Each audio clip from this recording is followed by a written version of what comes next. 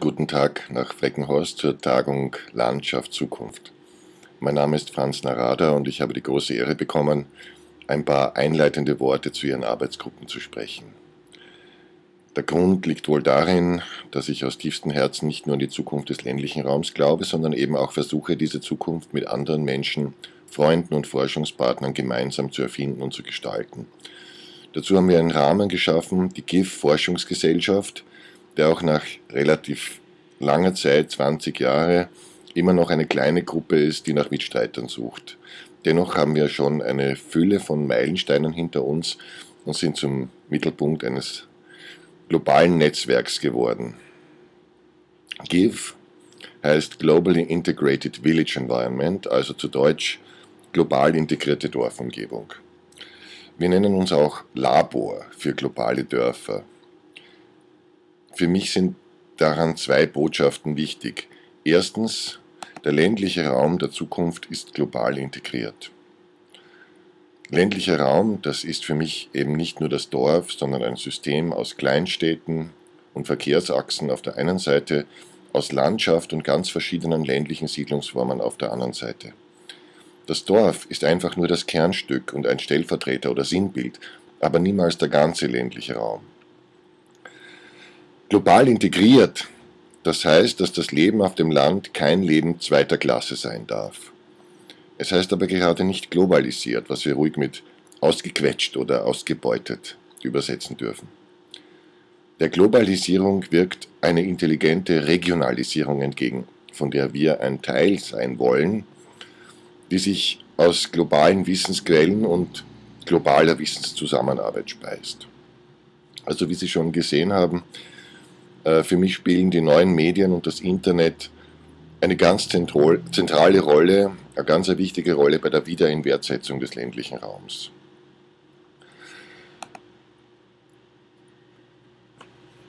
Natürlich geht es letztlich um eine ganze Reihe von Fragen und die wichtigsten sind auf Ihrer Studientagen präsent.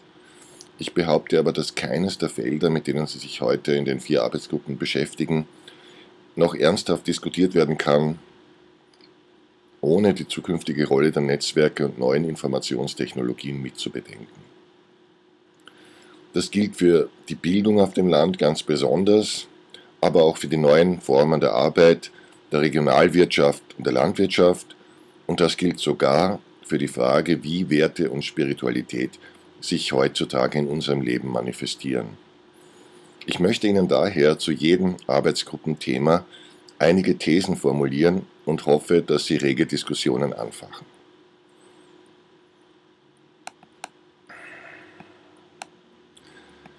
Aber vorher noch zwei allgemeine Thesen, die sich auf alle Bereiche beziehen und sozusagen sowas wie die Einleitung sind.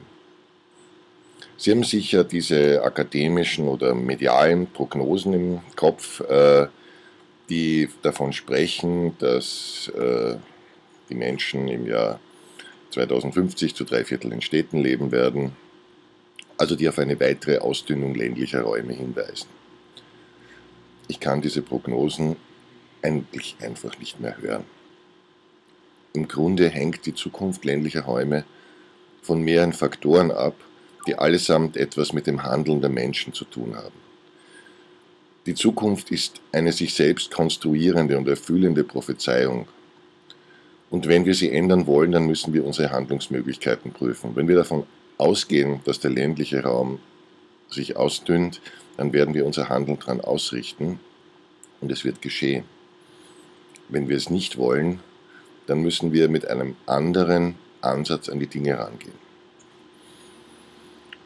Meine erste These ist, dass es einer grundsätzlich anderen Strategie bedarf, um ländliche Räume erfolgreich zu machen, als diese in Städten äh, eingesetzt wird.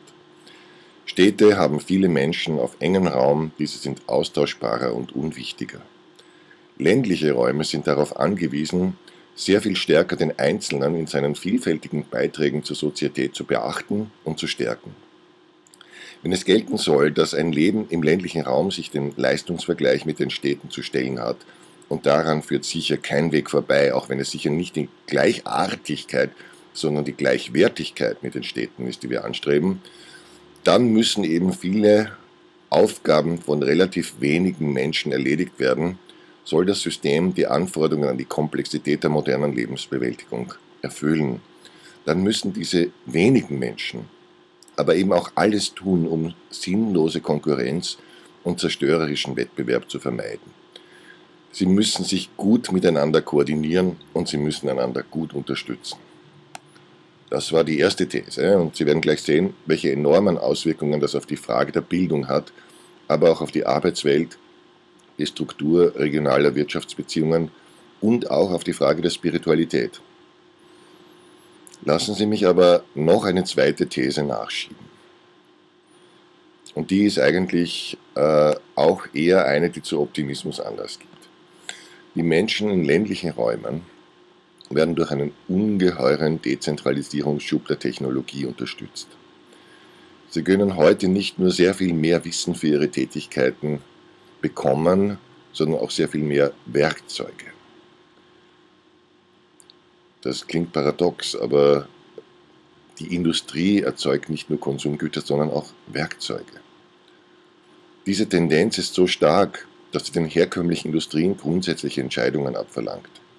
Will ich weiterhin das Wohnzimmer und den Couch Potato in den Mittelpunkt meiner Aufmerksamkeit stellen, den totalen Konsumenten, der sich Musik, Apps, Filme runterlädt und sich möglichst viele Pakete beim Versandhandel bestellt, oder will ich Menschen unterstützen, die mit meinen Produkten selbstständiger werden, sehr viel mehr tun können, ihre Gemeinschaft, ihre Gemeinschaften aufbauen können und so weiter.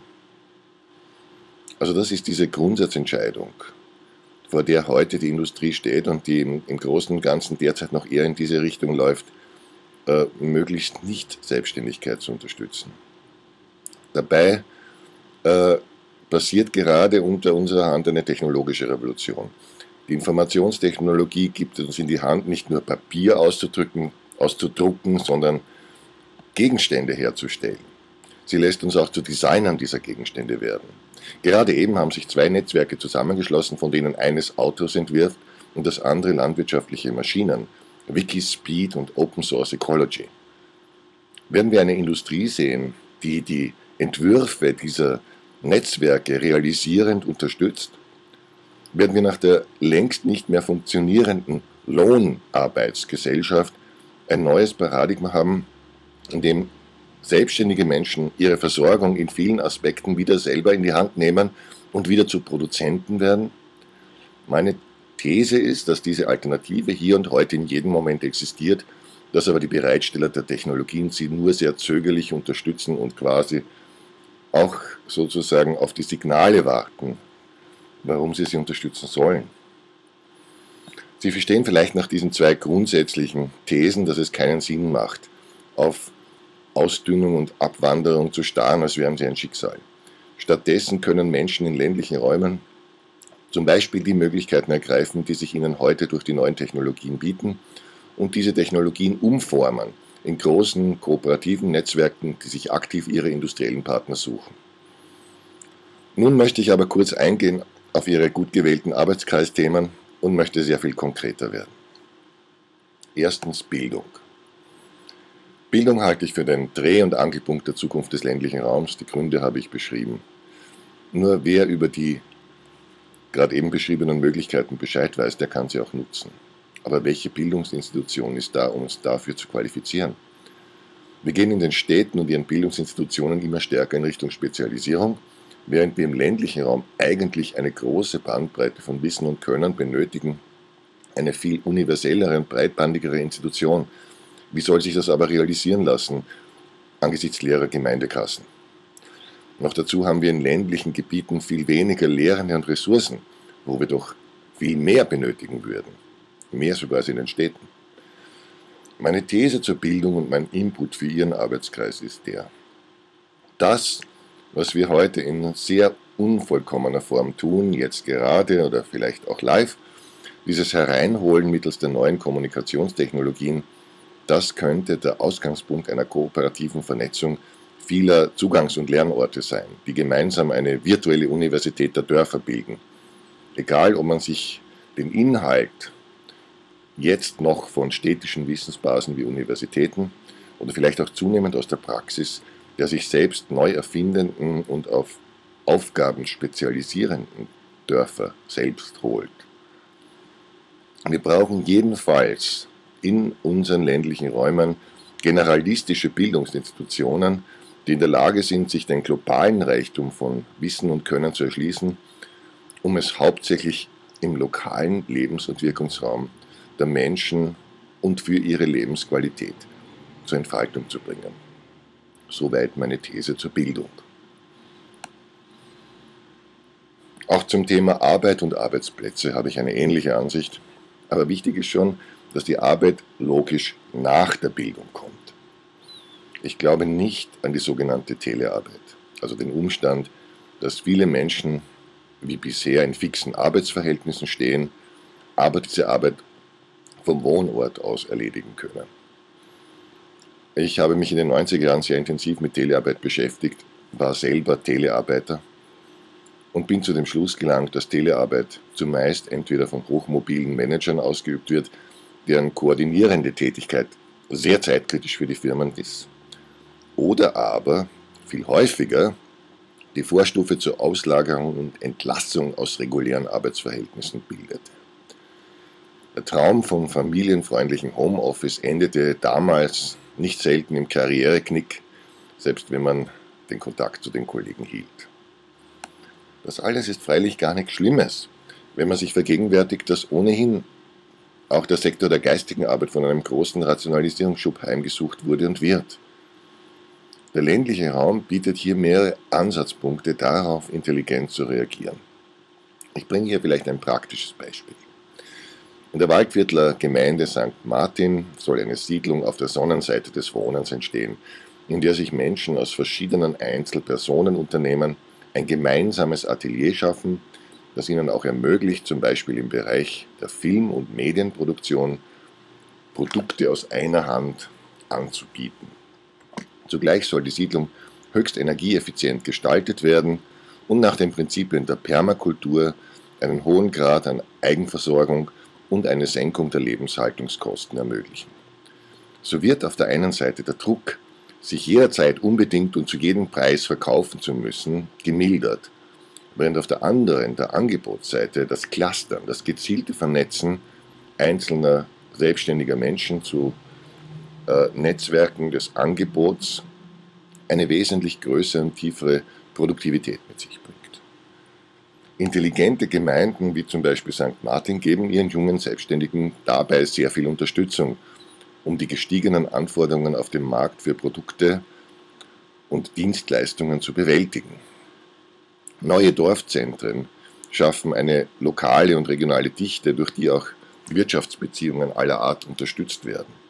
Ich stelle also die These auf, dass gerade im ländlichen Raum das Coworking, das bewusste Zusammenschließen von kleinen und kleinsten Unternehmen zum besseren Kommunizieren miteinander und mit dem Markt eine größere Zukunft hat als das eigentliche Teleworking. Ja, dritter Arbeitskreis. Zur Regionalversorgung und zu den regionalen Wirtschaftskreisläufen brauche ich da gar nicht mehr viel zu sagen. Das ist heutzutage am allerklarsten. Das steht in den Zeitungen. Bioenergiedörfer, äh, schießen aus dem Boden und, und, und, und man wundert sich, was die alles zu Wege bringen. Aber ich sage doch was, nämlich das, was bei der Energie begonnen hat, muss dort noch nicht lange enden. Ich möchte nur auf die Pioniere einer grünen Chemie wie Michael Braungart und Hans-Werner Markwitz verweisen, die uns darauf hinweisen, dass Biomasse oft viel zu schade ist zum Verbrennen und Verrotten, dass sie wertvoller Rohstoff für hochwertige Produkte sein kann. Das wichtigste Kennzeichen dieser grünen Chemie ist es, dass Abfälle überhaupt vermieden werden, dass Produktkaskaden aus nachwachsenden Rohstoffen generiert werden, die ähnlich wie in der Natur immer wieder neuen Prozessen Nahrung geben. Die dabei auftretenden vielfältigen Nutzungsmöglichkeiten von land- und forstwirtschaftlicher Biomasse gehen über Baustoffe und Dämmstoffe weit hinaus. Hans-Werner Markwitz hat dies beispielhaft an den Obstkernen gezeigt, die in der Saft- und Marmeladenproduktion eigentlich als Abfall entstehen. Diese Kernöle, die er daraus gewonnen hat, sind Ausgangspunkte für Dutzende ganz verschiedene Anwendungen und Weiterverarbeitungen, zum Beispiel im Naturkosmetiksektor, als Emulgatoren, Aromen, sogar Poliermittel und so weiter. Diese vielen neuen Erkenntnisse hat gemäß hat eine moderne Regionalwirtschaft durchaus noch nie dagewesene Chancen. Und dazu gehört auch die Beziehung zwischen den Sektoren, zum Beispiel zwischen Landwirtschaft, Tourismus und verarbeitendem Gewerbe. Tourismus etwa wird zunehmend vom Phänomen des Hintourismus statt Spaßtourismus beeinflusst. Menschen sind heute vor allem dann bereit zu reisen, wenn es sie persönlich bereichert und ihnen neue Lebenschancen gibt. Ich kann hier nur Schlaglichter werfen, doch eines wird klar, eine gute Regionalwirtschaft und eine Regionalversorgung kann nach innen und zunehmend auch nach außen nicht mehr allein oder äh, hauptsächlich vom Kriterium des Wettbewerbs definiert werden. Vielmehr ist die Wahrnehmung von intelligenten Kooperations- und Verkettungsmöglichkeiten an die erste und oberste Stelle zu setzen. So, jetzt sind wir schon bei 16 Minuten aber ich möchte doch noch abschließend äh, zum Thema Kirche am Land etwas sagen. Hier haben wir das ganz bewusst bis zum Schluss aufgehoben, aber es liegt mir sehr am Herzen. Gerade in einer Zeit der globalen Kommunikation muss sich die Kirche immer mehr mit dem Fakt auseinandersetzen, dass Menschen mit vielerlei Angeboten auch in religiöser Hinsicht konfrontiert sind. Sogar einen Schritt weiter. Wir leben in einer Welt, in der der Einzelne, der da im Mittelpunkt einer gewaltigen Informationswolke steht, sich quasi ständig seine eigene Pri Privatreligion zu zimmern ermutigt wird. Ich will mir jetzt nicht bewusst auf die Seite des christlichen Evangelisierungsauftrages dagegen stellen, ja, sondern aus einer ganz anderen Perspektive Chancen für die Kirche im Land herausarbeiten. Entschuldigung, ich bin leider ein bisschen verkühlt. Der ländliche Raum bietet nämlich den Städten gegenüber einen heute noch weitgehend unerwähnt gebliebenen Vorteil oder eine Besonderheit, um es neutral zu sagen.